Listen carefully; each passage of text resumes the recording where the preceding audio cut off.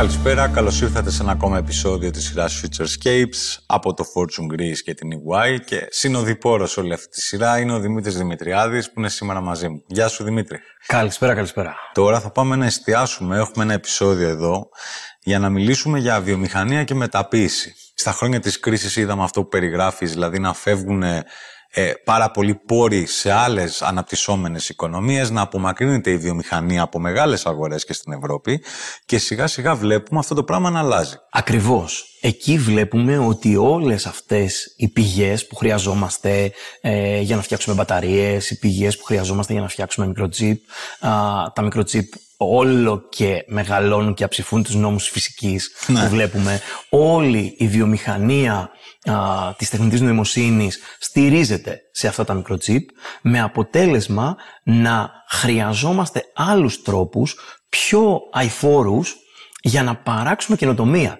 Γιατί αν μείνουμε σε αυτό το παράδειγμα των λάθος μέσα σε μεγάλα εισαγωγικά υλικών, των υλικών που είχαμε τα προηγούμενα χρόνια και μας έφεραν εδώ που μας έφεραν σε επίπεδο κλιματικής κρίσης, δεν θα μπορούμε να παράξουμε καινοτομία με σωστούς όρους. Έχω τη χαρά να έχω μαζί μου τον κύριο Θάνο Μαύρο, συνέτερο της EY, επικεφαλής supply chain για κεντρική και νοτιοανατολική Ευρώπη. Κύριε Μαύρο, καλησπέρα.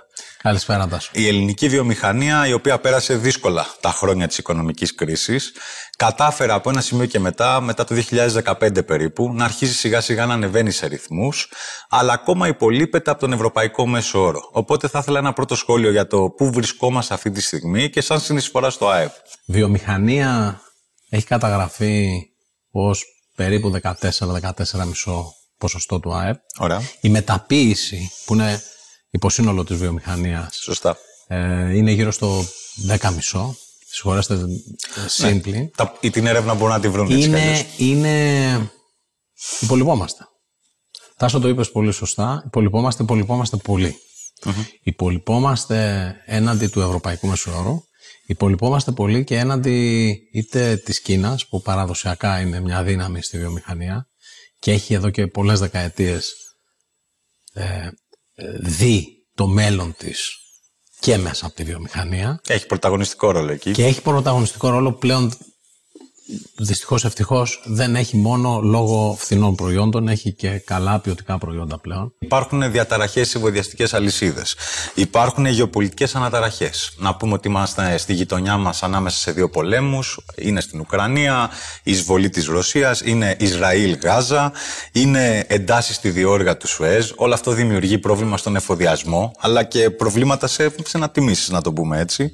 Και απ' την άλλη υπάρχει και μια ανάγκη για στροφή σε βιώσιμες λύσεις, όλο και πιο έντονη στη βιομηχανία, με καταρτισμένο ανθρώπινο δυναμικό. Σε αυτές τις προκλήσεις, η ελληνική βιομηχανία απαντάει κάπως, προσπαθεί να απαντήσει. Και ναι και όχι. Και το λέω με το χέρι στην καρδιά. Υπάρχουν κάποιες μεγάλες βιομηχανίες και ε, το βλέπουμε και από 5, 6, 7, 10 οι οποίες συνεισφέρουν και στο 70-75% των ελληνικών εξαγωγών βιομηχανικών προϊόντων. Σωστά. Και γι' αυτό, ενώ είμαστε χιλιάδες, μικρές μικρομεσαίες, δυστυχώς για τη χώρα είναι λίγες αυτές που έχουν εξαγώγημα προϊόντα. Ναι.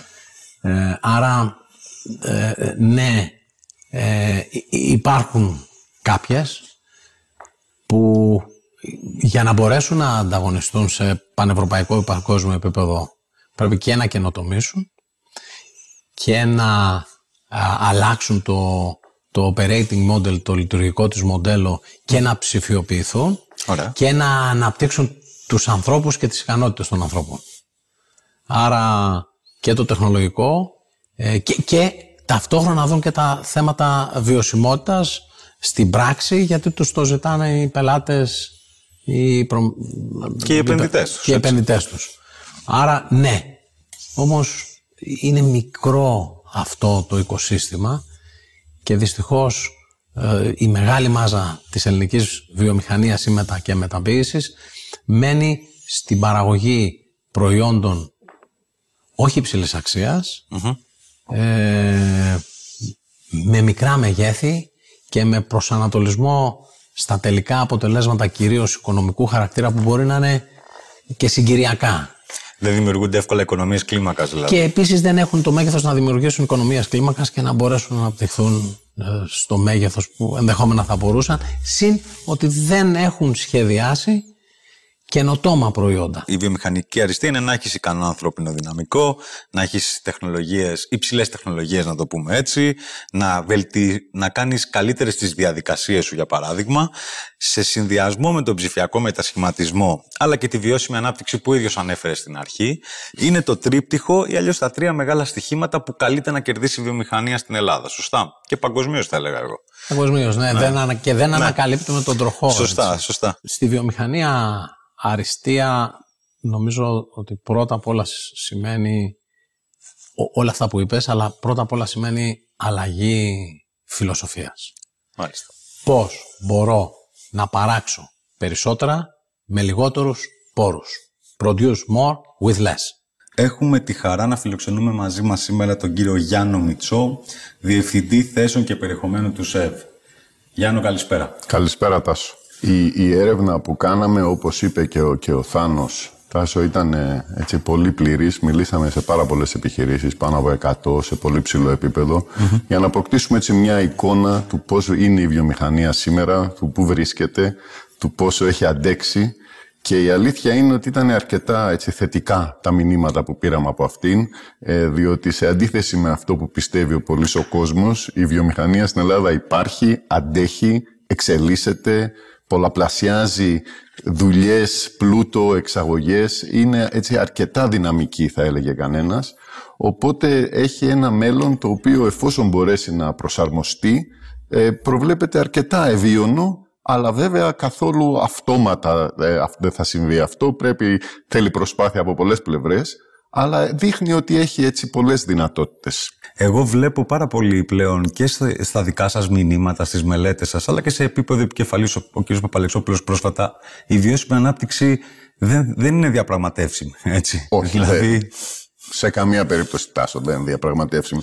Πρώτον, γιατί χωρίς βιώσιμη ανάπτυξη δεν θα υπάρχουμε. Η βιωσιμότητα είναι μια απαραίτητη προϋπόθεση. Δεύτερον, διότι οι κανόνες σφίγγουν για τη, για τη βιωσιμότητα, για να πας να βρεις ε, χρηματοδότηση, τα κριτήρια ESG, για παράδειγμα, είναι αρκετά σύνθετα, είναι αρκετά έτσι, ε, προχωρημένα. Ο, το καταναλωτικό κοινό έχει αρχίσει να έχει μεγαλύτερες απαιτήσεις βιωσιμότητας, ζητάει να βλέπει τις προσπάθειες των επιχειρήσεων ολόκληρη αλυσίδα, δηλαδή και αυτό προκύπτει και από το ESG, όλοι σου οι προμηθευτές, όλοι σου οι, οι συνεργάτες πρέπει και αυτοί να τηρούν κανόνες, διότι όλα πάνε στο τελικό προϊόν.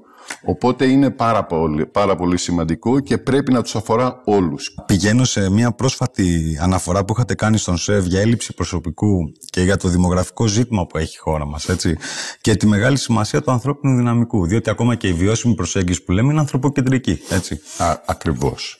Το θέμα του, το, της, των ανθρώπων και της πρόσβασης στις δεξιότητες που χρειάζεται είναι πάρα πολύ μεγάλο. Είναι πάρα πολύ μεγάλο στην ελλαδα και είναι πάρα πολύ μεγάλο και στην Ευρώπη. Και δεν αφορά μόνο τις τεχνικές δεξιότητες ή μόνο τις εξειδικευμένες, αλλά ακόμα και τις ανειδίκευτες. Στο ότι αφορά το ποσοτικό πρόβλημα είναι δημογραφικής διάστασης ζήτημα. Ναι. Ε, είναι δημογραφικό από τη μία και έχει να κάνει επίσης με το γεγονός ότι στην Ελλάδα ειδικά έχουμε λίγες γυναίκες για παράδειγμα που εργάζονται και που εργάζονται όλο τους στον εργασιακό βίο, ε, το οποίο μειώνει και τη δεξαμενή ανθρώπων.